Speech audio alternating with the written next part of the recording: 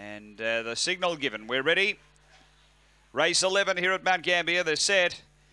Racing, good speed early from Bungaloo Pearl. Quickly out, Bluestone looking for the front. It's going to get over. Bluestone leads. Oh, a bit of traffic in behind it too, and it skipped away. Suspicious Coal a second. Then Uptown Man from We See. Uh, next is Moneybag Zach Summer Sprite. Then Better Value and out the back Bungaloo Pearl. Up to the turn though, Bluestone's got a good lead. Straight and clear over Suspicious Coal and Bluestone won it by five or six. Second, Suspicious Coal and third Uptown Man.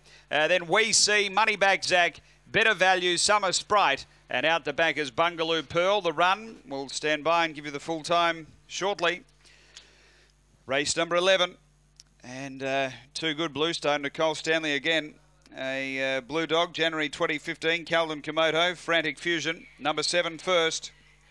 Deborah Hicks, the winning owner. Number seven. It's uh, seven, four second, uh, Suspicious Coal for Elizabeth Burrs. A uh, Black Dog, September 2013, Dynatron, Suspicious Tina. Number two, Uptown Man, David Peckham, a Black Dog, February 2015, El Gran Senor.